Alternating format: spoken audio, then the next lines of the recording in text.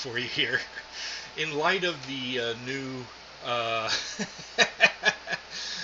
uh, the uh, upcoming uh, patch uh, update, which is going to give us all the new Japanese destroyer line, I figured I would show this video. Now, I, I don't.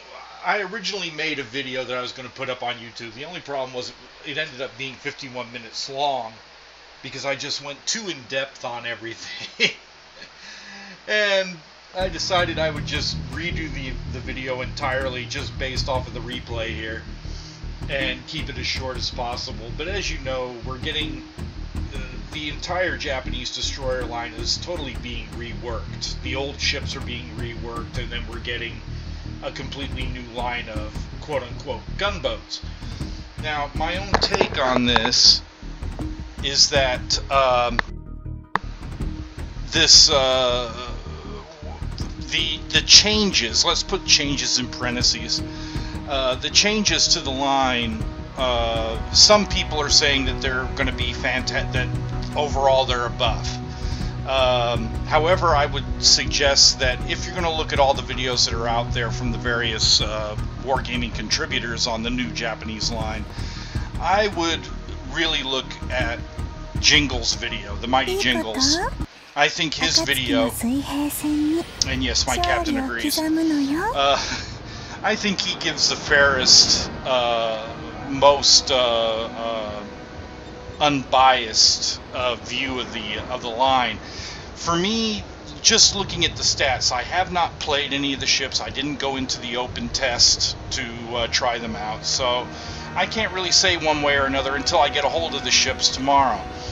But um looking at the stats and everything, honestly, I view it more as a as a nerf to the line more than uh, as them buffing the line. Yes, they've increased the rate of fire a bit on the guns of some of the ships, but they've taken away, uh, they've lowered the damage potential of the shells. Then they've lowered the uh, uh, chance to cause a fire with the HE shells. So while they've buffed the rate of fire, at the end of the day, there's really not going to be a change to the damage per minute. So these ships, are, even the gunboats, are not really going to be competitive against the American and Russian DDs.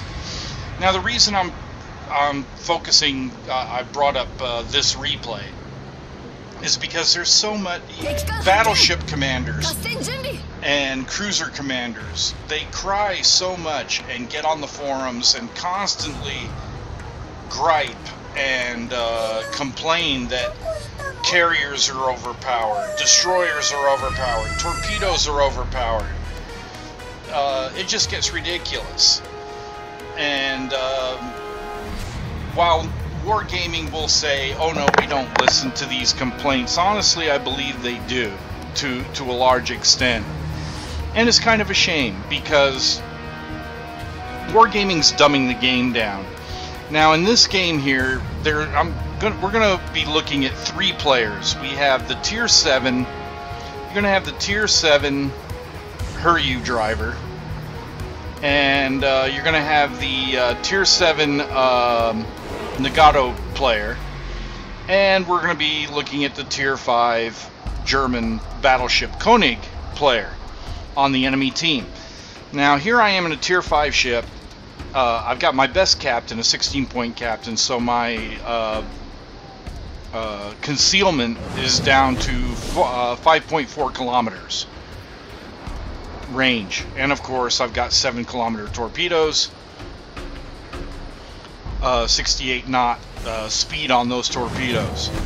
Now, the thing is, uh, this game, this game is honestly going to show you uh, what I believe the these three guys of, of these three ships are most probably your atypical World of Warship players that complain and gripe about overpowered ships or overpowered weapon systems like torpedoes or destroyers.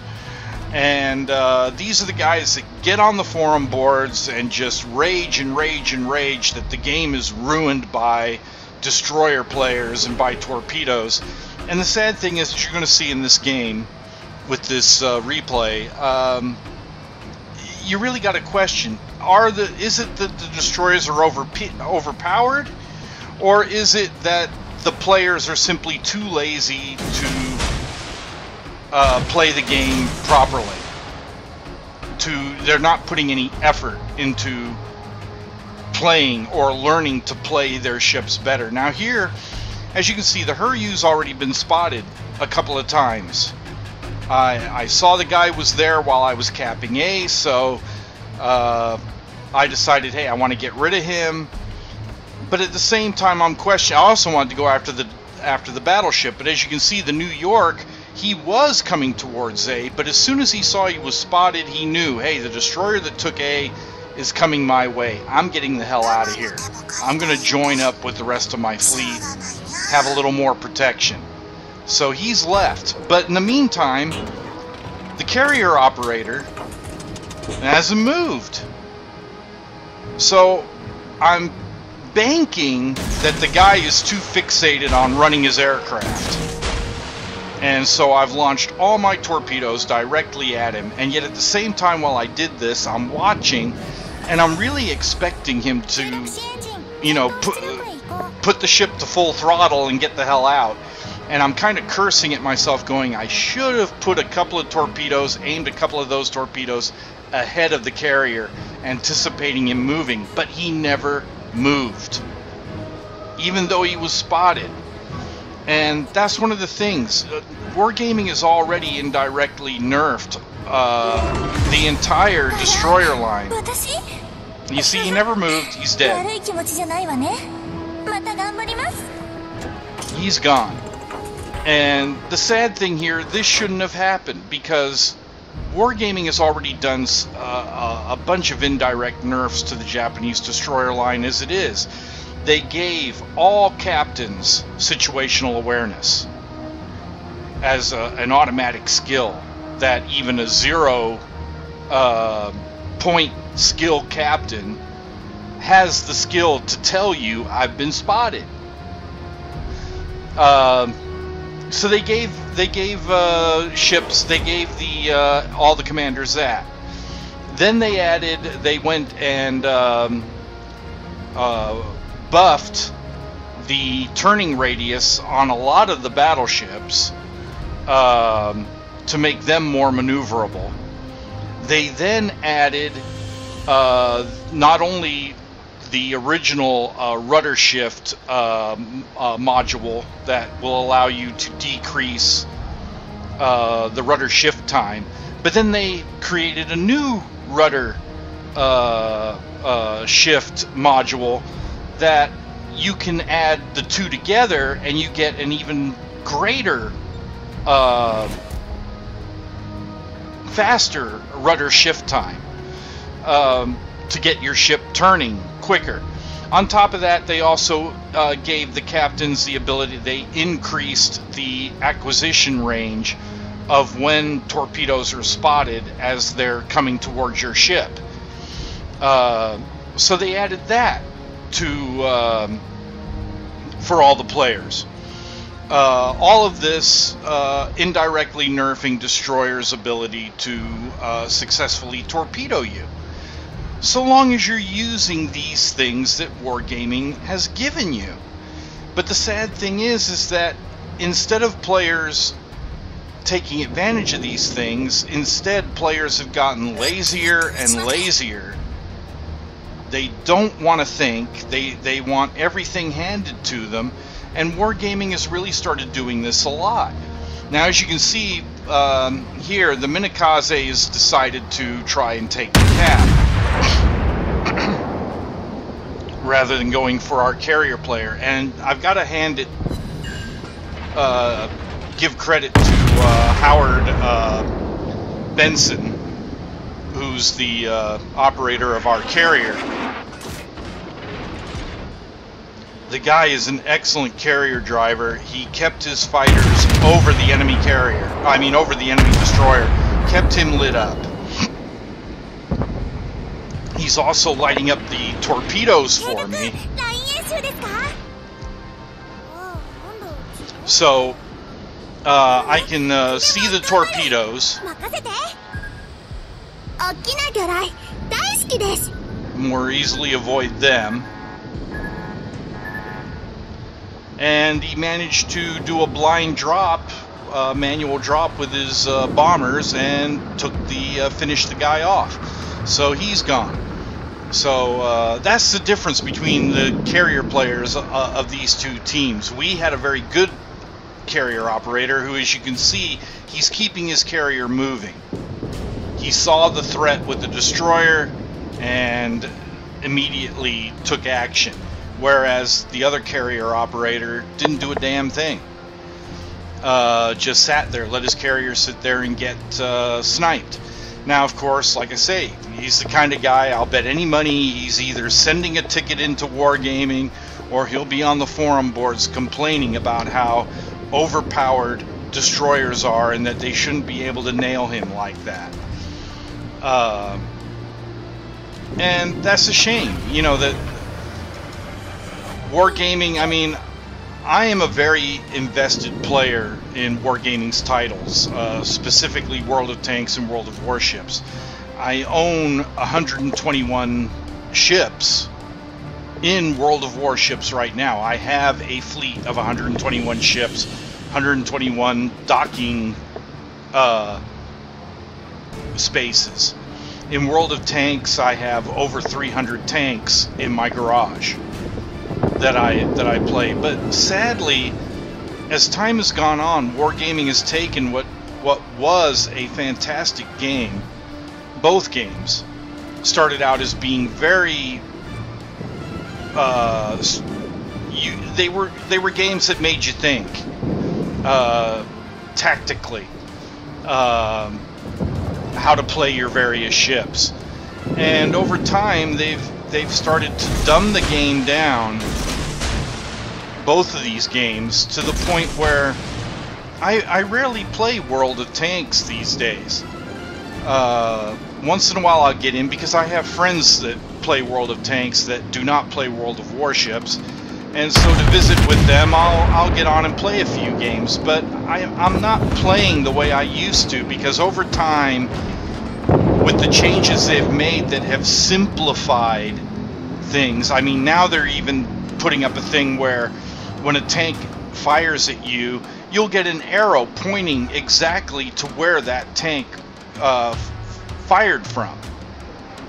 And to me, I think that's wrong. I mean, you already get a thing that shows you the general direction the shell came from. Why do they have to add a uh, a modification into the game to, you know, pinpoint? There's where the tank fired from, right there. And they want to, uh, from what I hear, they want to add that to this game as well, which I just think is retarded in the extreme. So anyway, here, as you can see, I, I try to be a team player. I wanted to keep that Gneisenau in the game, keep his guns in the game. So I gave him a smoke screen so that, uh, you know, to keep him in the game. He's almost a one-shot kill. Now here we have the other two guys I was talking about. We have the Nagato and we have the Koenig. Now my location here, uh, I would love to fire at the Nagato, but from where I am and where he is, even if I turned in such a way to come where I was paralleling him, it's not as likely my torpedoes will reach him.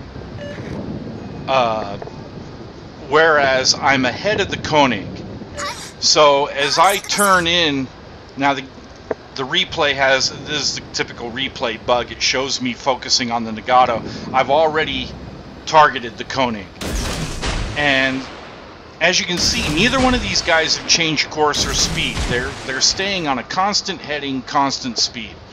And so I've gotten ahead of the uh, Koenig so that I know that from this point, firing my torpedoes towards him, um, they're going to have a shorter distance. He's not going to be outrunning them unless he completely does a, a 90 degree turn, which he hasn't done at this point. So he's still holding his course. And this Nagato has done the same thing. The Farragut fired torpedoes from smoke and took him out. All six of my torpedoes hit that Koenig. All six of them hit because he just stayed same speed, same course. Now here, the guy who's running the Nagato starts to complain about invisible ships. And the sad thing here is what you're looking at is he should have seen the smoke screen from where he was that the Farragut uh, put up. That should have warned him right away that there was a destroyer nearby, and he should have started to take evasive action. He should have assumed there were torpedoes in the water at that point. But instead, he didn't. And here he is complaining that he didn't see the destroyer, he didn't know the destroyer was there. And the torpedoes, uh, he didn't see them until they were right on top of him. Well, why? Is that because the torpedoes were invisible? No. It's because he was too fixated on trying to hit the battleship. And he wasn't watching around him. But these are the kind of guys that will go into the forum board that will put support tickets into wargaming to tell the devs how upset they are over destroyers being OP and in reality, that's not the case. Uh, it's their gameplay that needs to be improved. And um, like I say, it, it, I just find it sad that uh, that wargaming caters to people to the point where it's like, oh yeah, this ship is uh, doing too well. Well, you got to ask why is it doing so well? Is it doing well because it is OP or is it doing well because the level of player skills is becoming more and more inadequate in the game as more and more yes, more and more inadequate as uh, we just seem to be getting players that they want everything handed to them these days. It's, you know, I want to know exactly where I'm being shot from. I want to know this. They don't want to spend any time learning the mechanics of the various ship classes and uh, improving their skills. Now, it, uh, you know, I on the one hand you could argue and say, well, they're making the the Japanese destroyers a, a little more um, challenging um, to play, and that's a good thing. That's one of the reasons why I'm not completely bashing the line. You know, plus I haven't played the new ships yet. I'm going to have to try them out myself and and see how they work. Um, and I like a challenge, but it's just for me to nerf ships make them almost unplay, make them where they're very difficult to play to be successful in, uh, while uh, having other ships that are um, easy to play uh, for players. Um, I think it, it it hurts the uh, the game. I'm here. the The whole purpose for me of playing uh, online games is that I want to uh, test myself against other uh, human beings, other players. I don't want to play against a computer opponent. Uh, if I wanted to do that, I'd play co-op. Um, that's what makes the the real purpose of online gaming is to play these random battles against other people. Excuse me and you want to play against players who are as competitive as you are. Uh, that they um, are doing their best, trying their best to play their ships. And um, then it, you get more enjoyment out of the game, especially when you're successful.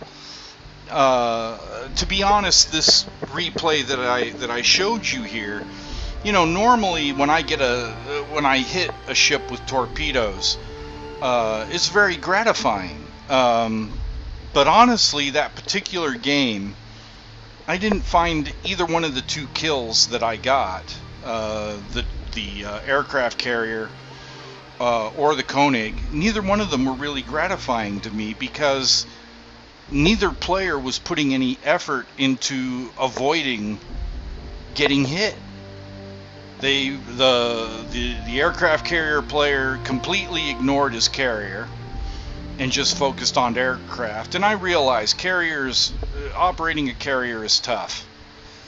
But we're talking a guy running a tier 7 carrier. And um, I mean, I own a Hiryu. I actually have a Hiryu. You can see it right here. Currently, I don't have the, the captain I've put elsewhere. Um, I really don't play the ship. Um, even though I've got it fully outfitted. Uh, when I do play it, I take it to co-op because that way I'm not hurting a team by my inept uh, ineptness at uh, at playing a carrier uh, proficiently enough to be in a random battle. So I'm not going to saddle um, a team that's competing in randoms uh, with me trying to learn how to play a carrier. To learn how to play a carrier properly, uh, when I feel when I'm in the mood to try running a carrier, I take it into co-op and play it there. Mainly, I got the carrier out of historic for historic value. The, I'd like to have the Hiryu, the Shokaku. Um, I'd love to see Wargaming add the Akagi and the Kaga to the game. Um, beautiful ship, but uh, I just don't feel I'm good enough at running carriers to saddle a team with me running a carrier. I just I, I, I don't think that's fair to a team. So when it comes to the difficulty of the ships, after carriers, destroyers are the most difficult ship I feel to play because they're the most unforgiving ship of the three. They have the least hit points. They have no armor. Um, if you make a mistake, you know, chances are it's a mistake that that is going to cost you heavily. If if, it, if you don't get sunk, you come away losing most of your hit points. Uh, so, for that reason, that's why I like playing destroyers. Uh, I also love to play cruisers. Uh, cruisers are, I feel, they're to me they're like medium tanks in World of Tanks, which that's my favorite class of tank to play. So I like playing cruisers because they're kind of a do everything ship. Um, they're almost as powerful as battleships. They've got uh, good speed that they can get where they need to go quickly and get out of trouble quickly and um, so I enjoy the I enjoy these ships. I don't enjoy. To me, battleships are the easiest, most forgiving class of ship to play because they've got it all. They usually have very good anti-aircraft capability. They've got armor. Uh, they've got the big guns. I mean, they can flatten a cruiser in a couple of broadsides if the cruiser is dumb enough to travel in a straight line.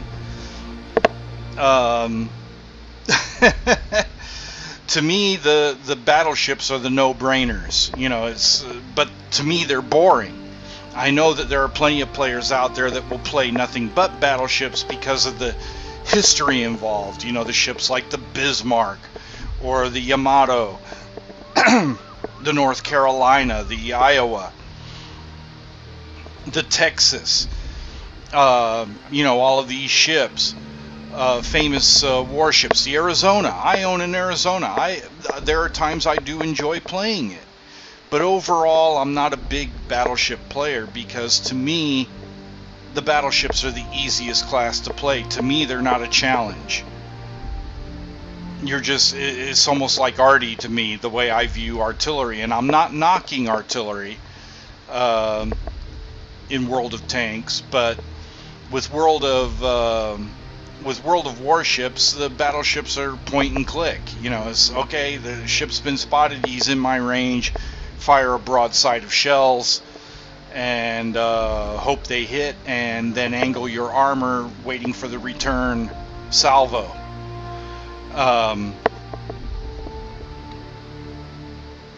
and with all the things they've added, when I play battleships, I can avoid destroyer torpedoes unless the guy is really good and he not only fires uh, a salvo of torpedoes at the direction I'm going, but he also goes, "Hey, I got a feeling the guy's going to turn.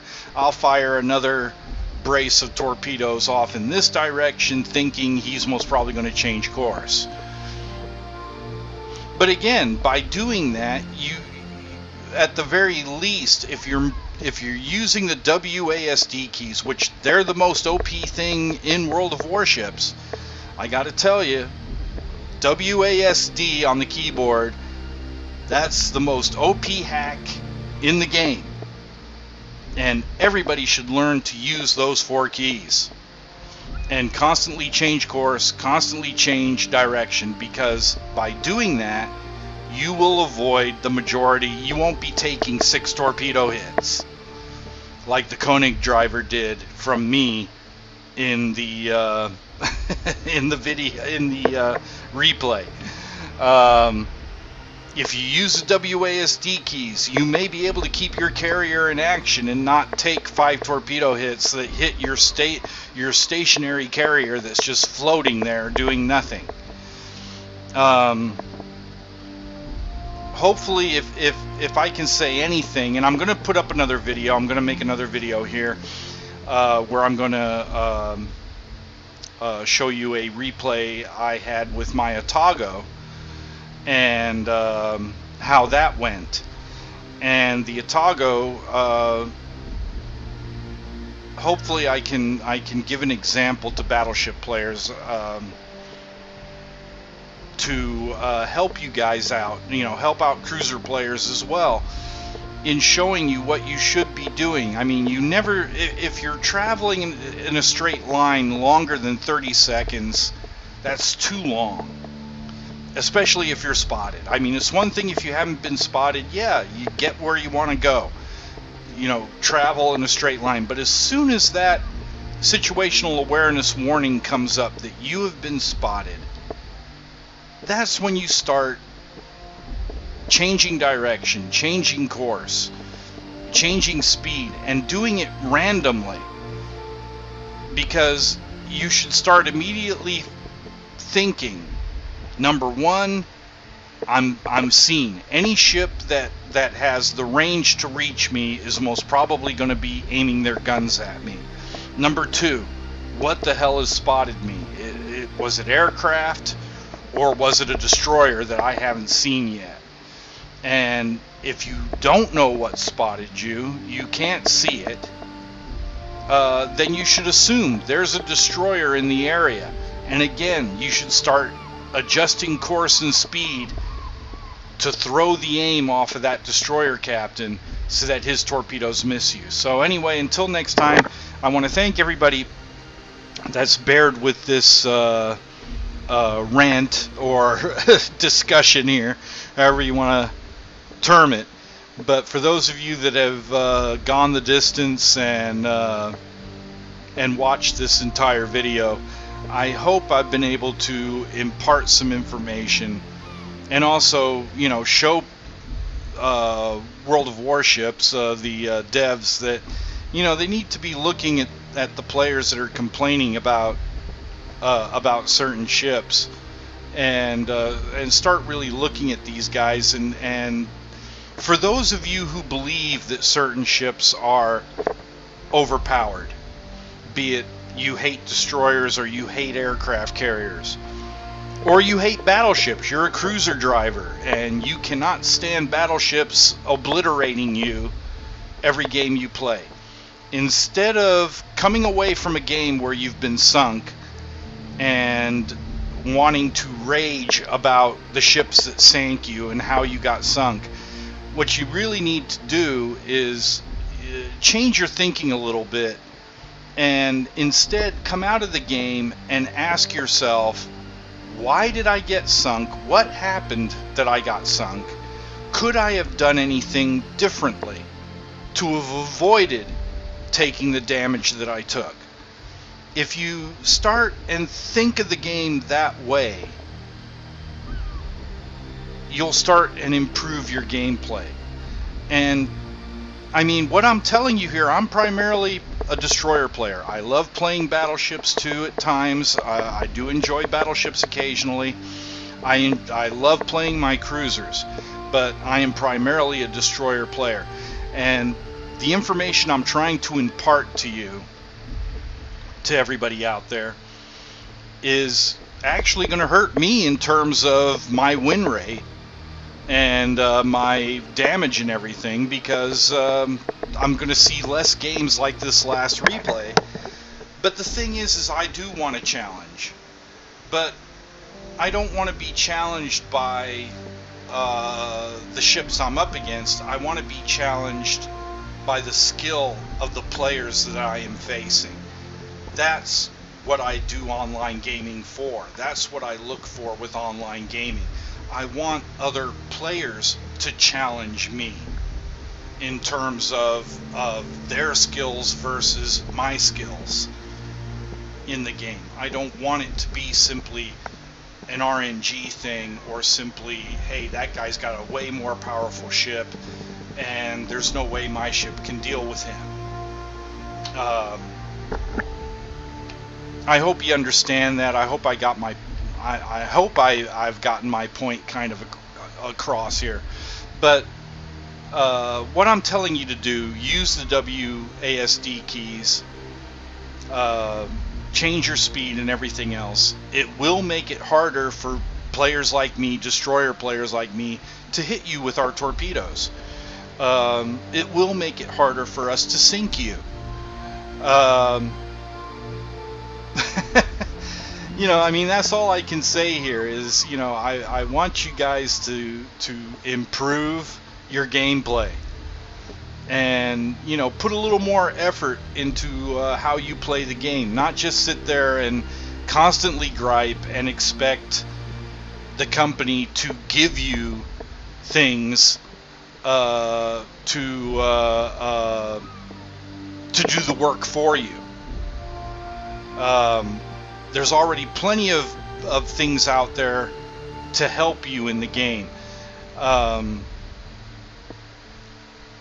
if you can't deal with playing battleships in that as the game currently is, and I'm talking before the update, then maybe you should be playing another game. I mean, that's the way I look at it. I mean, I, I don't have a, I don't have a, I don't own any stock in the company, so I can say that. I guess you know, I, I'm sure Wargaming uh, will be a little upset at me for you know stating something like that. But it, I honestly uh, join. I honestly started playing these games to um, uh, for a challenge, and to me, it, it's like Wargaming is taking the the challenge out of the game and and just encouraging people not to think, uh, not to use their heads when they play this game uh, or when they play World of Tanks. And I really hope that Wargaming comes to their senses on that and uh, really starts, uh, you know, yes, do ships need balance? Yeah, sure they do. You know, balance is a constant thing. But um, not to the point where you're, you're totally destroying a line of ships. And the Japanese line of destroyers uh, had a very unique uh, situation about it uh, they really weren't uh, anti-destroyer ships. They were specifically ships built to target cruisers, battleships, and carriers, uh, not other destroyers. Whereas American destroyers, Russian destroyers were built more to uh, be versatile, not only uh, to fight the enemy ships, but with torpedoes, but to also deal with enemy destroyers, enemy uh, torpedo boats, things like that. So anyway, yes, uh, I'm going to end this rant. Um, be looking for my next video, which will be on the Atago.